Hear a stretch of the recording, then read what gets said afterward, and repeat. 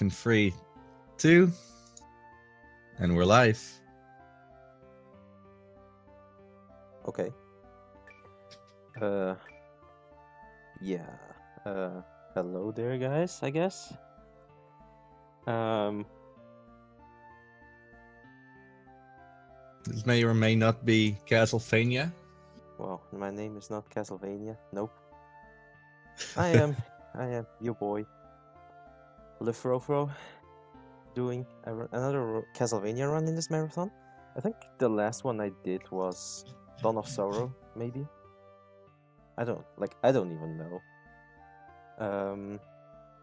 So yeah, but uh, this run is going to be much much different than like most of the Metroidvania runs, simply because there is like a lot of different kind of tricks that uh, I will kind of not explain throughout the run because like most of the like most of the strats to explain take much longer than the actual usage of it i would say.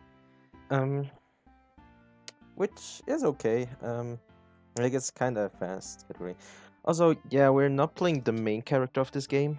Um instead we are playing the second character uh, called albus. Um albus has a lot of is like the mus- much squishier character but uh, in that regards he is like super fast in terms of movement. Also like certain abilities are kind of broken so yeah. Uh, yeah i should probably also rename so are you just uh, hanging out here or like Yeah, actually, I am. I'm waiting for you to call time. Oh, cool. All right. Uh, let's just rename this classic uh, to the classic original Degen font. So I'm no. going to be ready in five, four, three, two, one, and go. So, um, so Albus mode. So here's the like the first instant that you see the basic movements of this game. Um, you can teleport around by just touching the the screen on your DS, and what it does is it costs a mo- it costs MP, but um, the gimmick of this uh, game in general is like all of your attacks and certain moves uh, costs MP, but they also refill really quickly, which is a kind of cool aspect of the game, to be honest. Like most of the classic Metro- Metroidvanias have uh, either sub weapons or souls or hearts, yeah, like all the different kind of aspects. So, um, so I haven't like I haven't picked up this game a long, damn long time ago. I think it was, it was around four or five months in general. Um, so yeah, this is the first boss fight. Uh, I call it the Armadillo Buck. Um, it's like one of these super quick fights where you you just saw like a glimpse of the additional attacks uh, that you can do throughout the run. Um, like that was super so fast. Like yeah, it's kinda hard to explain stuff. So um, so you have like four different kinds of attacks. I would consider attacks to be honest. So the first one is like the normal shot, uh, like that I'm doing right there, and those normal shots like fire rapidly fast, which is kind of cool, but uh, it also uh, uh, like costs. It doesn't cost that much MP. Like the la- later in the game you are, the more time, like the longer you can cast it, which is pretty cool. Um, then you have a skill called Optical Shot, which is a kind of split shot. Um, which let me. I'm going to use it uh, on the next boss. So what this does is it's a light element uh, attribute attack, which light attribute in this game is kinda good. Um, like most of them bosses in the game are Dark elements. Um, it also has like the like the projectile of it moves really strange. Some like it first like it puts like it puts like two of those balls into the center and then it fires right away in some sign of So yeah, that's the optical shot, and this is another attack called the Blaze Kick, and I messed up this boss fight super bad, but okay. Um, the Blaze Kick is probably pretty much like the most overpowered skill in the entire game, I would say. Um, it gives you iframes, which you may have noticed that I'm getting. Um, I'm using this skill mainly for damage output, if it's actually worth it. Worth it. Um, it also is the only ability that doesn't cost any MP. It only costs hearts.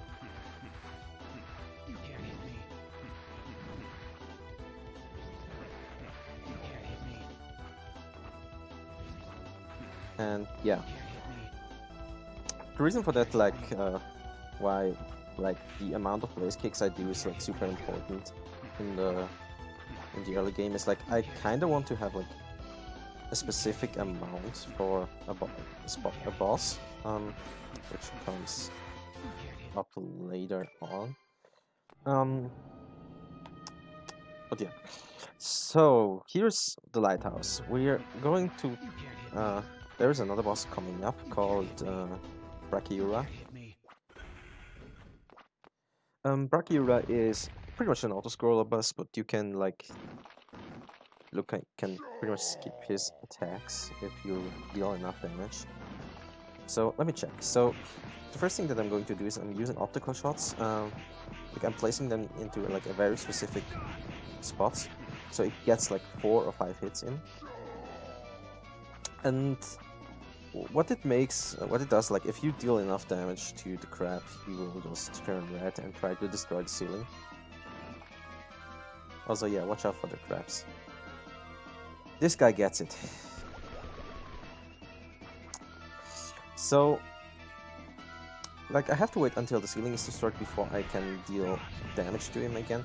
I mean, I can technically do it much earlier, but uh, I would say like he has like three health bars. Um, because you cannot kill him the normal way, I would say. Um, but yeah. So here I'm waiting until like most of the ceiling is, has disappeared, so it reduces the lag quite a lot. This is a strat that I figured out um, like two or three weeks ago. Um, usually like this game is not that, like it doesn't lag quite a lot, except for this part. Like this part is pretty much like the worst when it comes to performance. Maybe there's another, like there's another room in the large cavern that kinda does that, but we're not going to visit this place. Okay, so... So, that is pretty much like the only way to kill the boss. Like, just press down on the elevator and just destroy his legacy. And, yeah, um...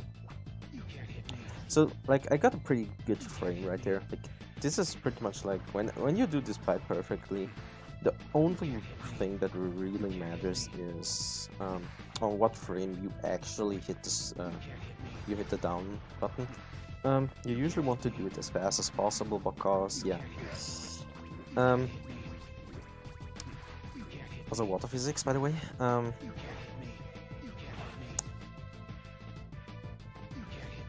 So yeah, the reason why you want uh, to kill the, the crab is like, or like hit switch as soon as possible is, um,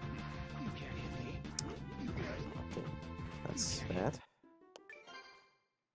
Okay, where was I? So like the reason why you want to hit the switch early is like you want him to kill, you want to kill the crab when he's red. If he, if he is like like switching between green and red, and or he is green, it turns out that like there's much more blood spilled on the screen and this kinda lags the game.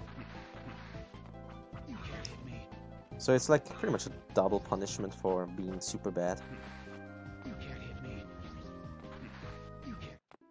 Like, like pretty much this game doesn't really allow errors in general. Um, in like for Albus and for Shanoa. So yeah, um, this is one of the actually harder areas to get passed by, even though you can pretty much teleport around. Um, that is pretty much due to the like those uh, butterflies. I would I would call them. I think they have a I don't know what their name is, but yeah. Um, if you like do one really bad teleport, you will get hit, and then everything in this move uh, in this room moves around differently. Also, yeah, uh, this is pretty much like the spookiest place in the entire game. I mean, it's called Skeleton Cave. I mean, what do you have to? What do you expect? Like, only the spookiest skeletons, and of course dinosaurs, because And this is the Man-Eater. Um, Man-Eater is one of the easiest bosses in the entire game, even easier than the than the bug. Like, he doesn't even, he's not even a threat in this game. Okay, so what I'm going to get here is, I'm using the, I'm going to use the chest, like, get the chest here, and get a hard upgrade, um, to increase, like, the amount of blaze kicks I can do, and it's, uh, in a very specific time that I'm doing that, um, so there is another like there's a boss uh, right in the middle of the game called uh, no I'm actually not going to if you haven't uh, played the game. But we will see this boss anyways in like 10 minutes or something. Um, you need a, like a very specific amount of uh, parts to the blaze kicks. Also, I'm going to skip this uh, save point. Oh, I just realized I haven't saved this run so far. I should probably do that at, this, at one point. Um, so yeah, this is uh, Rusalka. Also, I also call her like the fake water Undine, which is kinda silly. Now that I just realized it. Um, the basic strategy is like just shoot at it until it dies. It's like the classic cyber demon strategy you do in Doom. And that was like a super good fight. Um, like I didn't get the splash attack, which all other or what are they called? Uh, Maelstrom. Like if you get one of those attacks, yeah, it will kinda slow you down by a little bit. But that was perfect. So far, like the run is really good, except for like the giant skeleton fight. Okay. So this area, um, the Giant's Dwelling, has surprise, surprise, another boss called uh, the Goliath. So here's a skip that you can only do in Albus. Like you can pretty much skip half of the area by just teleporting to the top platform. Um, otherwise you would have to go around and do like a really slow path, which is pretty cool. Okay, so Goliath is the first boss that can actually one-shot us with a very specific set of attacks. Um, I'm using another combination of optical shots and mag shots, and I'm using blaze kicks so I can I can actually deal enough damage to replenish my health. Okay, now I actually have to be careful. Um,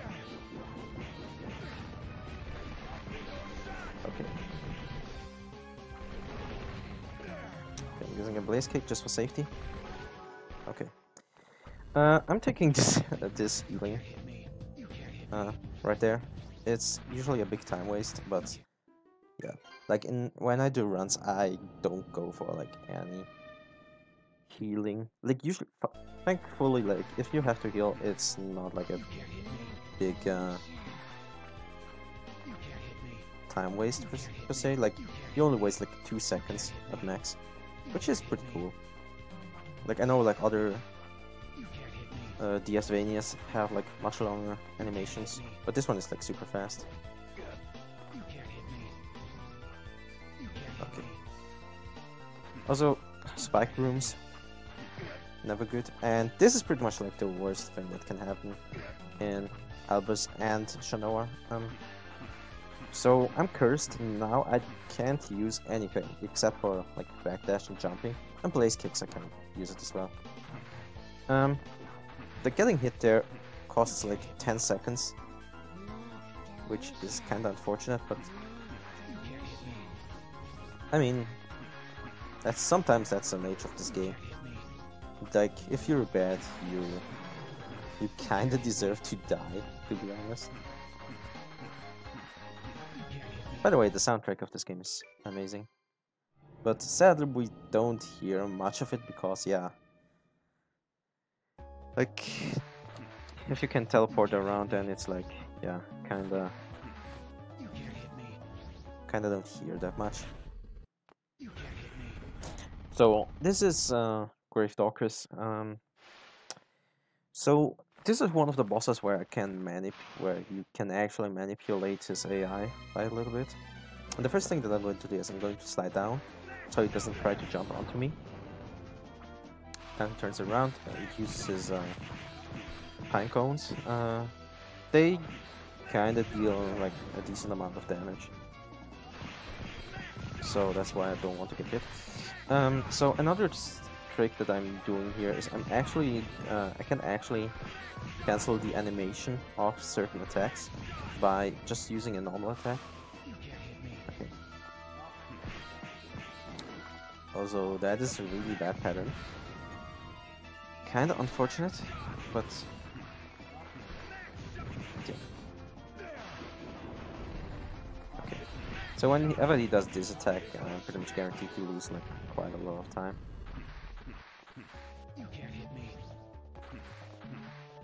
But yeah. That was kind of bad RNG right there, but whatever. Alright, uh, my heart count is surprisingly pretty high at this point. Um, usually I would have around 25 or something. Which is pretty cool. Um, not that it actually matters now, because now I have like way too many hearts. But uh, like I will get another refill in the in the castle area. So yeah, um, Mystery Manor. This is pretty much like the like first area where you can actually get an ending of this game. Um, of course, it's a bad ending, um, but it's oh, it only counts for Shanoa. So I will save here because um, in like a couple of marathon runs that I did here, I just died on this boss fight.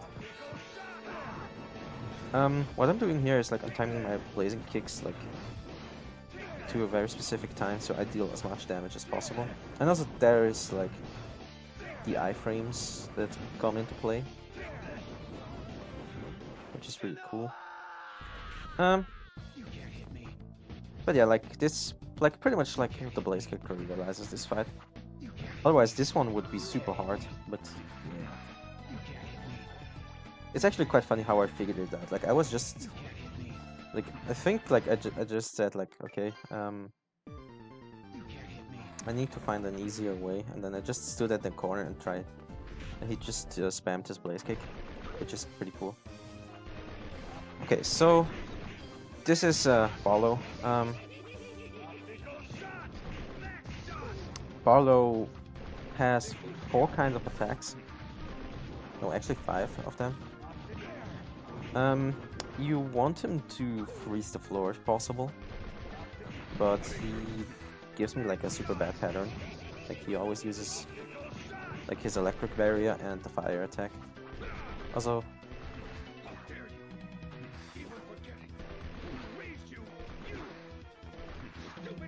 This is pretty much the best dialogue in the entire game. Okay. But this is the slowest attack as well. Um,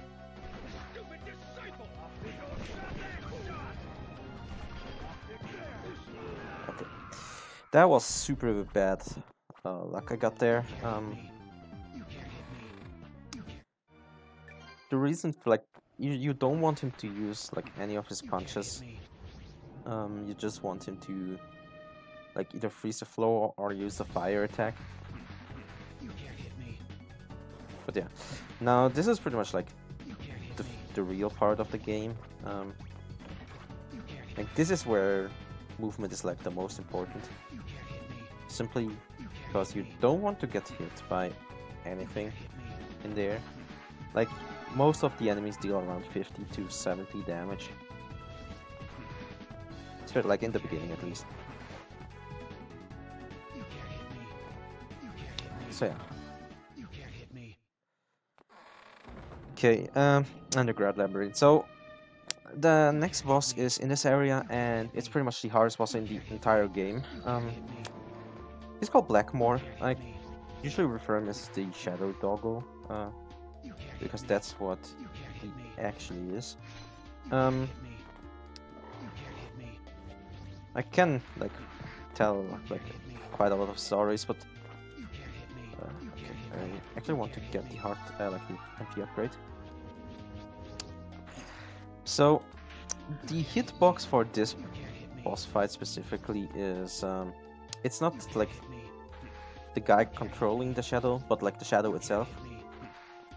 Which is good and bad at the same time. Um, since his uh, like his shadow just moves around, or like it just flickers. Um, sometimes you will just get hit by like a really bullshit move, and not much that you can do here. But yeah, this is pretty much like one of the fights that that kind of makes or breaks the run. Yeah, okay, that was really bad. Um, also, yeah, this guy two shots you and I didn't save. Okay, uh, I guess we're going to visit this fight again. So yeah, I kind of expected it to happen, but yeah. Uh, yeah, sometimes like when you press like the when you try to cancel the boxes, it doesn't save. Uh, whatever.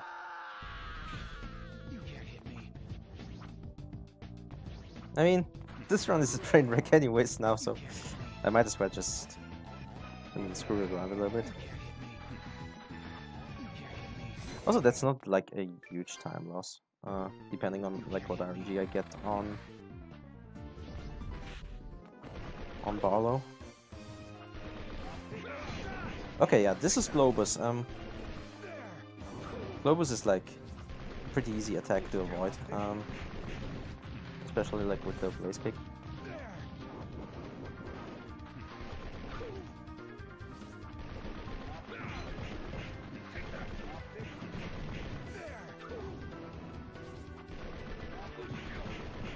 Okay, but it doesn't give me at least like a super bad parry now, unlike last time.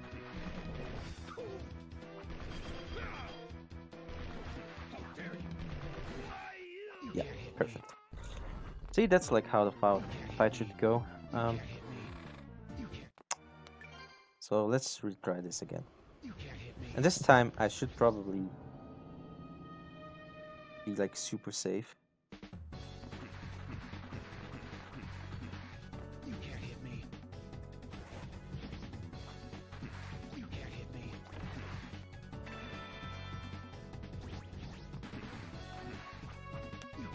Yeah, like Shadow Doggo is like kind of unforgiving. Especially like for newer players of this game. I mean, there's a quick kill for... Wow, okay, poisoned, okay. Um, there's a quick kill for, like, that you can do as Shanoa, but, like, it requires you to...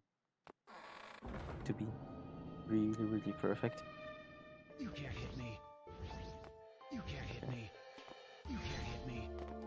And yeah, Albus doesn't have any quick kills in the later part of the run. Just like some neat uh. RNG manipulation that you can do.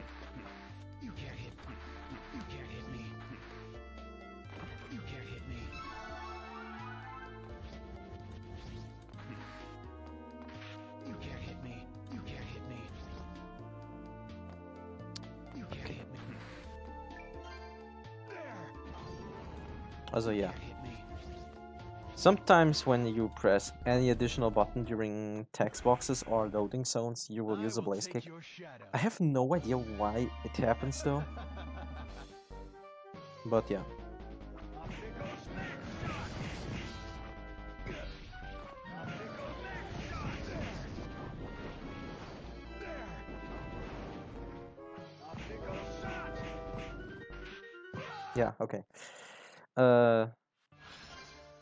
kind of messed it up somehow again, Can't hit me. but yeah. Now I actually hit the save, so. I will take your shadow.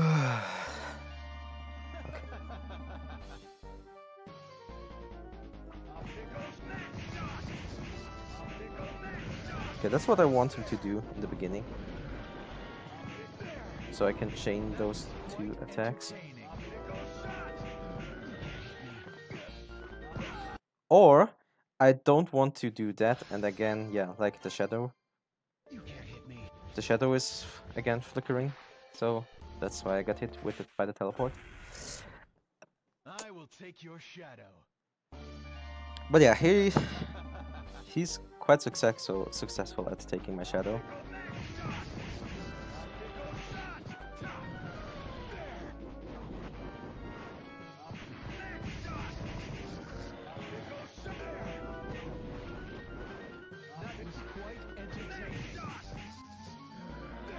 That's what I want him to do. Okay. Okay. Sometimes when he turns around, he doesn't do any attacks, so that's why I'm usually ducking. But yeah, that's how the fight is supposed to go. So, I have lost. Right, we heard it. That, yeah, I totally agree. Uh, I'm getting this uh, half refill just uh, just for safety. Um, there's a specific room coming up You that can either destroy me or like be absolutely easy. It's not this one. Also, yeah, due to the teleportability, you can just uh, skip some puzzles.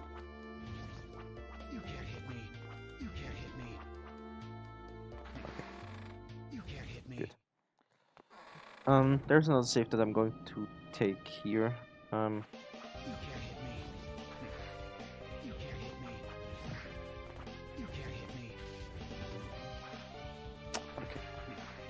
Which, in that regards, didn't matter that much, since I got hit by a Nova Skeleton.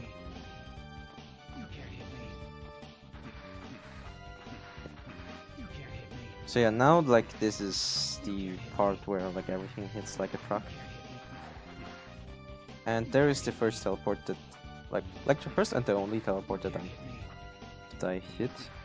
Um, except for the ones in the monastery. Um, it lets me teleport back to this area where I can either decide to go for death or for me. the bo- uh, the boss called Eligor. Um, we do Ele- uh, first. Um, simply for like the routing.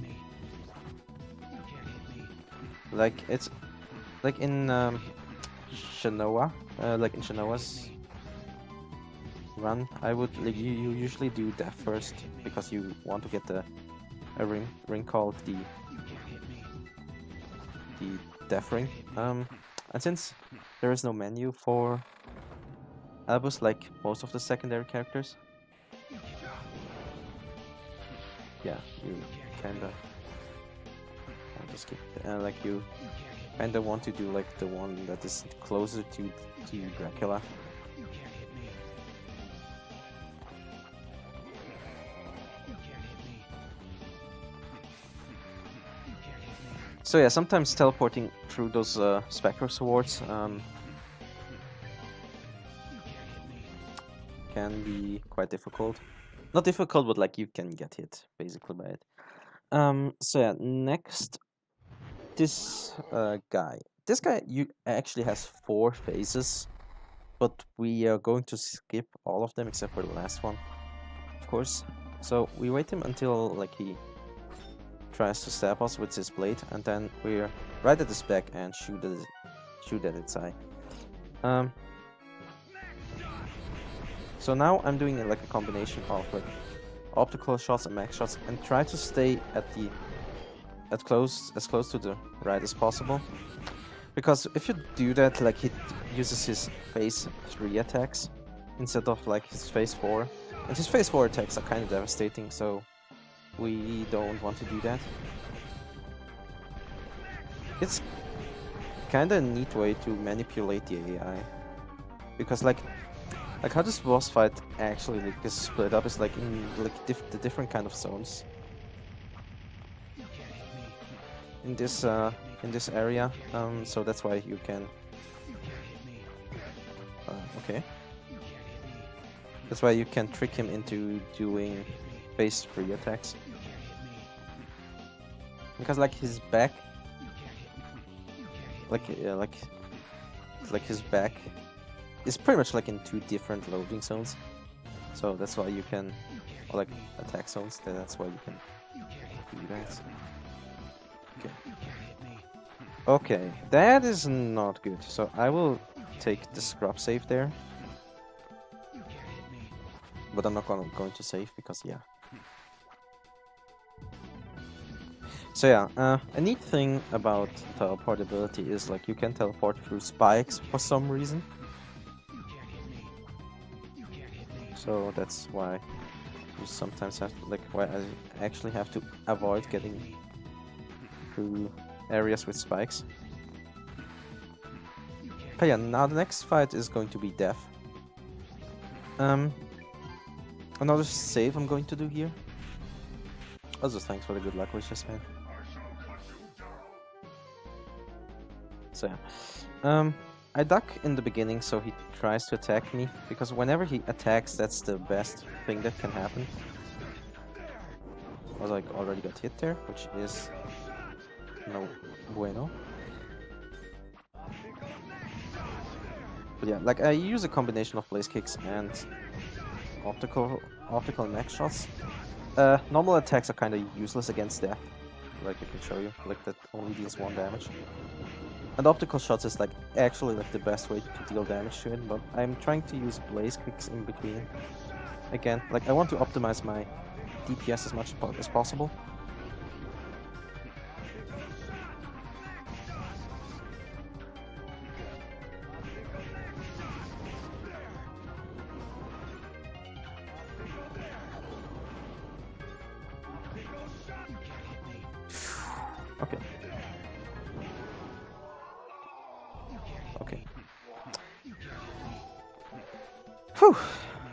So now I'm entering the final area and my heart count is super low. Um, so I will grab an another heart fill for Dracula. Um, it's like it loses around five seconds at max. But yeah, like so far as like as the run is optimized, um, I cannot actually allow to lose um, five seconds. So that's why I usually don't go for it and like roll with whatever heart count I have. Like what I want, like the the amount of hearts that I want to have like throughout this, uh, like for the final boss fight is around 25 to 30. So yeah, I'm also kind of taking it slowly because sometimes, yeah, those Shadow Knights will hit you for no reason whatsoever. You know, like you so as as far as way as far away from them as possible.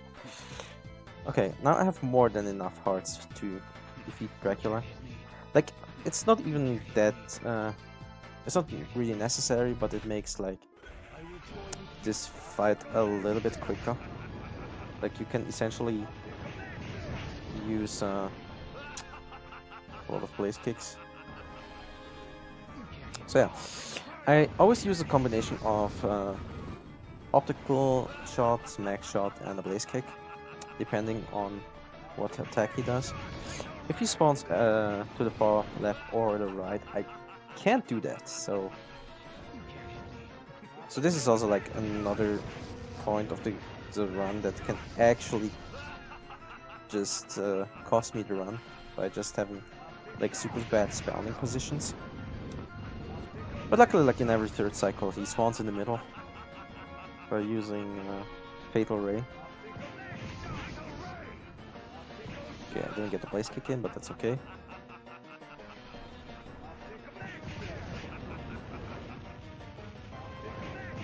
So yeah, Dracula has two phases, like in most of the Castlevania games. Uh, this one is no exception. Um, in the second phase, I'm going to use uh, another combination of uh, like uh, optical shots and max shots. Also, I'm doing a diagonal teleport because Dracula doesn't allow you to uh, jump over him because you you kind of forced to take the attacks. Uh, luckily, like if you do the if you like if you teleport to the right spot, you can just uh, you can just like skip the attacks, especially like the bat attack that he's trying to do. Um, but yeah, like the wolf attack is fairly easy to deal with. Unlike the bat attack. Also, yeah, uh, timing stops when he's dead. He didn't spawn a bat, that's good.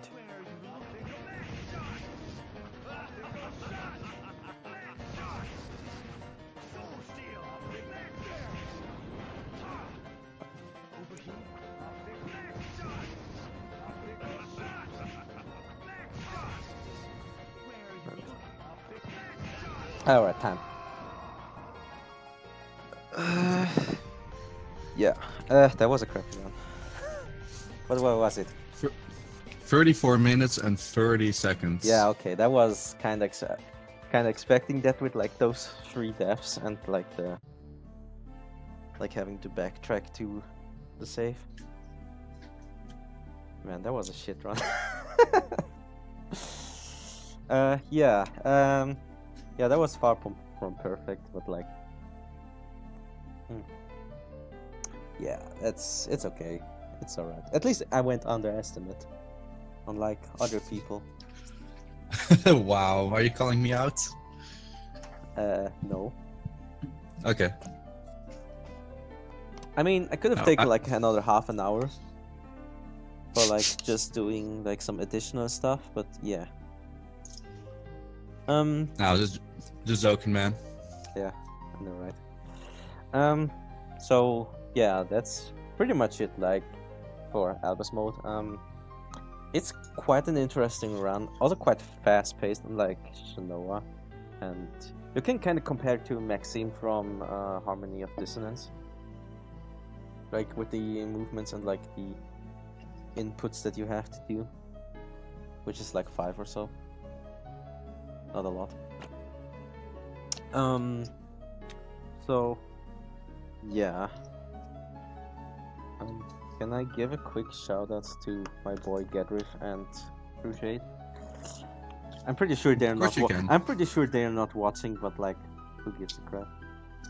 Like that's like the moral. That's like the moral support that like everyone uh, wants from their best best friends. Um. Yeah. Um. Oh yeah. Uh, another thing. Um. I'm going to run this in a very specific European marathon. I'm not gonna call any names on it, but yeah, like we don't like we don't support like any other marathons, right? ESA is the best. Oh, okay. When you're fine with it, yeah, okay. So yeah, I'm going to run this game on ESA. So since uh, it got approved, so yeah, maybe I'm not going to choke as as much as uh, here, but yeah. Um. So anything else? Anything else that I have to say? No, actually not. I don't know. How about let's go to the next run?